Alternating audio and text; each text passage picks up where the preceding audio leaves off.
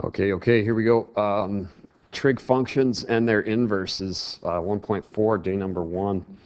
Uh, we're going to talk, you know, your typical SOHCAHTOA. We're going to talk a little bit of uh, special right triangles and then some solving of trig equations.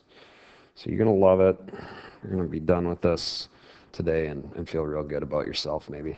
Objectives 45, 45, 90, sine, cosine, tangent, trig identities, and solving trig equations. Uh, some basic trig functions.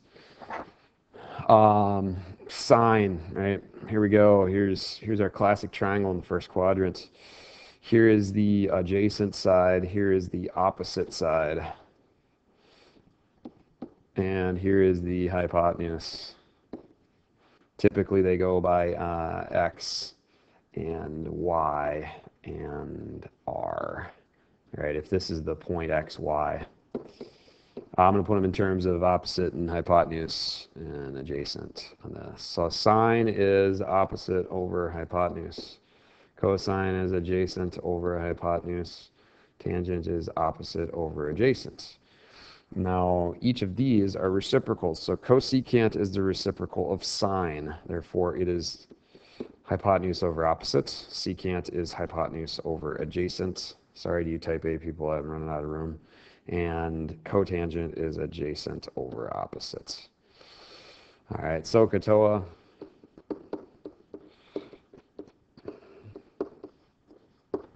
All right, there's your sine, cosine, tangent. Uh, what do they call those acronyms?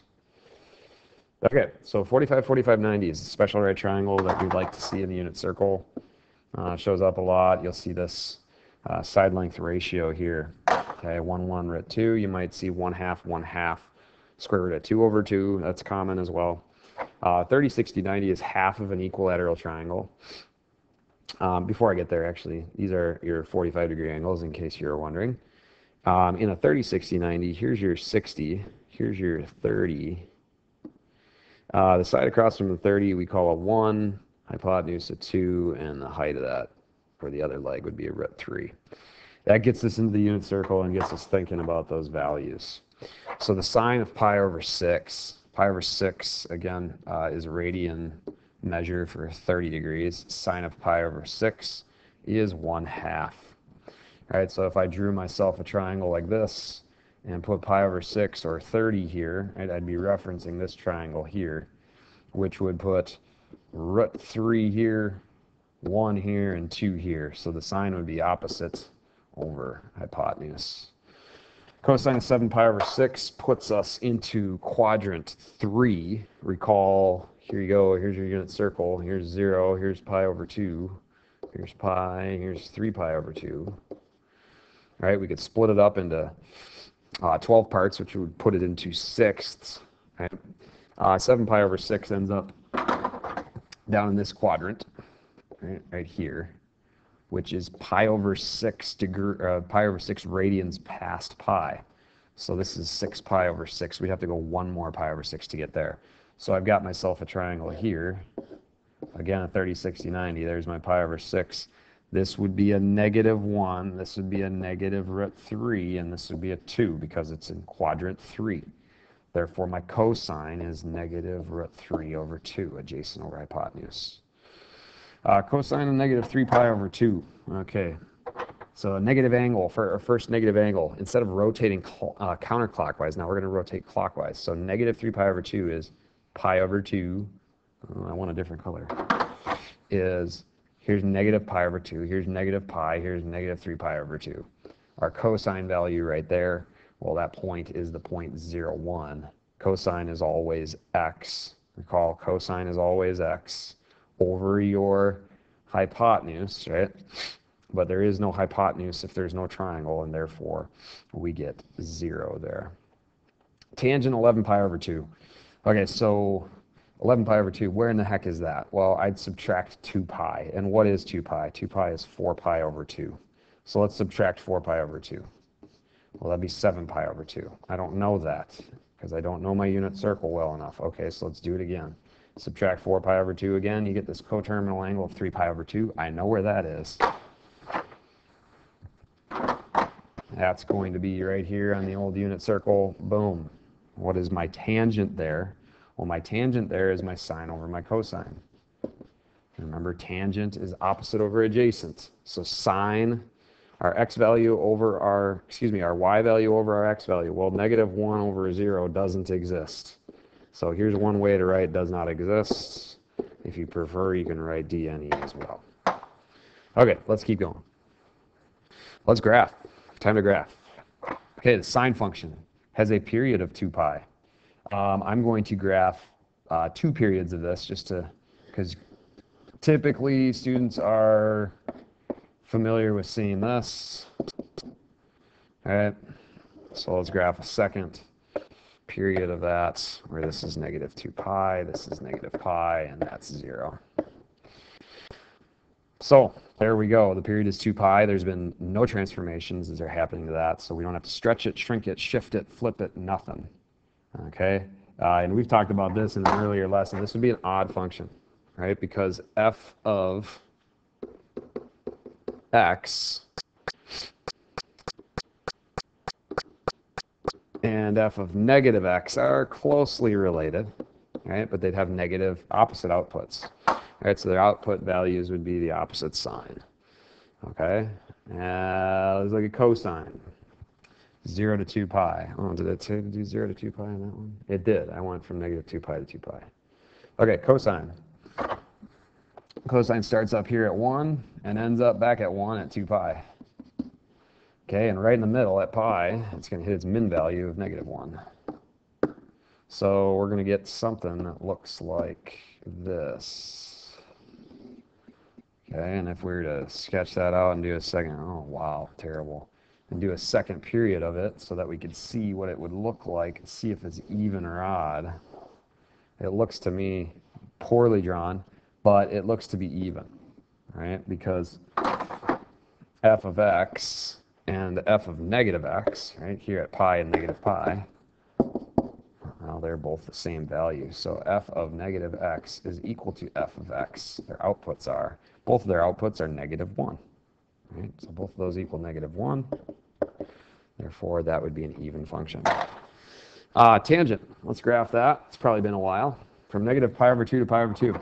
Conveniently, negative pi over 2 and pi over 2 are vertical asymptotes. So something different about tangent than sine and cosine is the period of sine and cosine 2 pi. The period of tangent is just pi. Okay, here's our graph of tangent. Is that even or odd? Well, is there symmetry about the origin? Right, here we go, and here we go. Yes, there is. Rotational symmetry, odd function. You could confirm that uh, f of, I don't know, pi over 4, well, which equals 1. The tangent of pi over 4 is 1. What's the tangent of negative pi over 4? Well, it's negative 1. Therefore, f of x negative f of x is equal to f of negative x, and therefore we have an odd function. All right, let's continue. Uh, some of our trig identities, be familiar. Um, you know, I, I, I, can't do much right now other than just say, try to remember these. Actually, don't try, do it. And then they apply to the following. Uh, we're going to do a couple of, of uh, solving for x in an equation. This is an identity right? And you may not remember it, but you got to get there. That's 2 sine x cosine x. Well, where is that equal to sine x? If you're not sure, you know, get sure. I'm going to subtract sine x from both sides.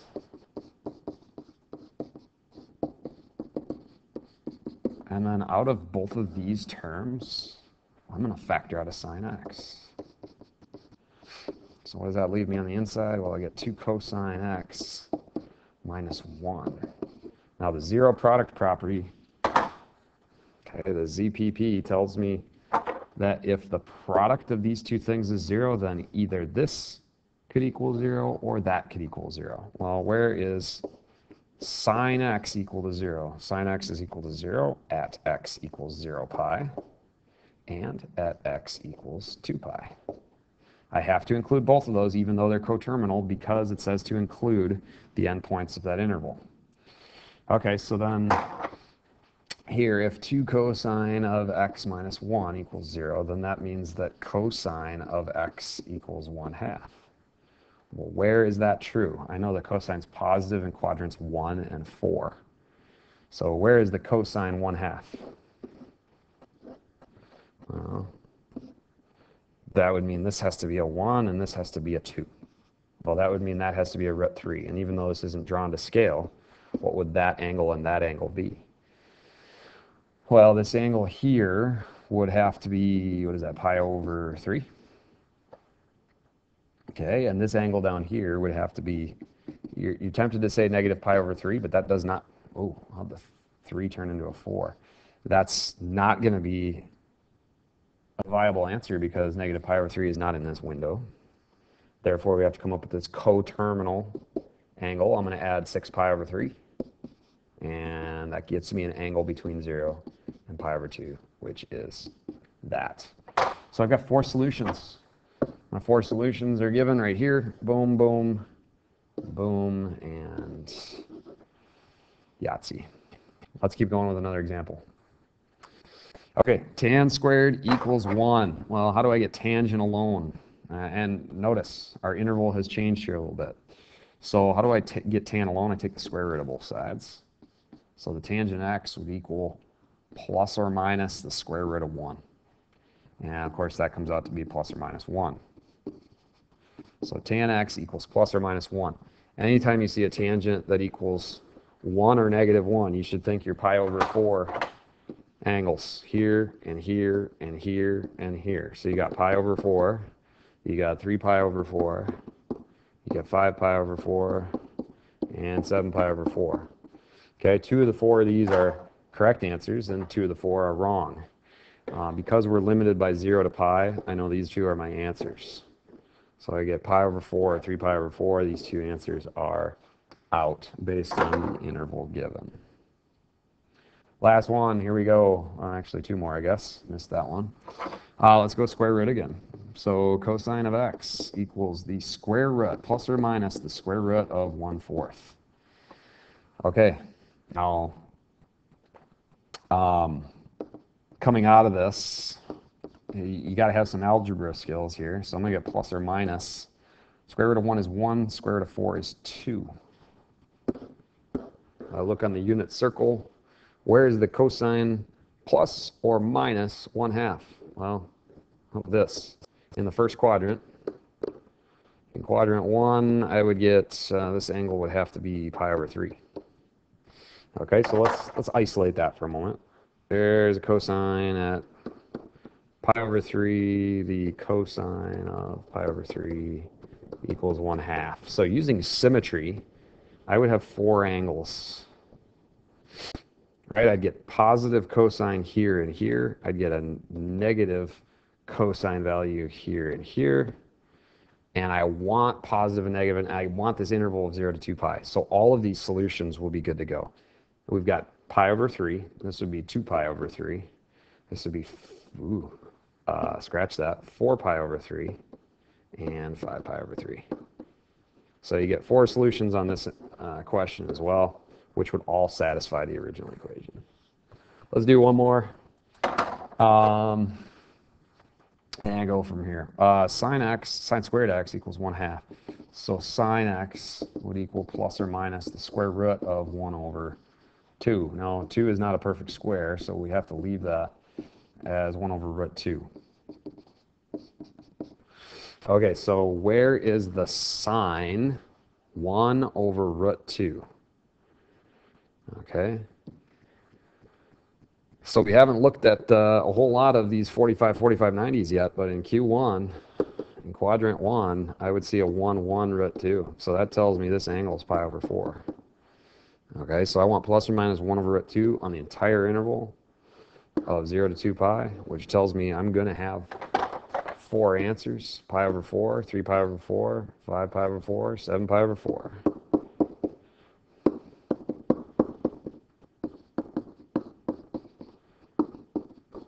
So don't get lulled to sleep by just assuming that every interval will be 0 to 2 pi. It may not be, and then you could potentially have too many answers or solutions. Uh, that'd be it for today. Yep. Have a great day and see you next time.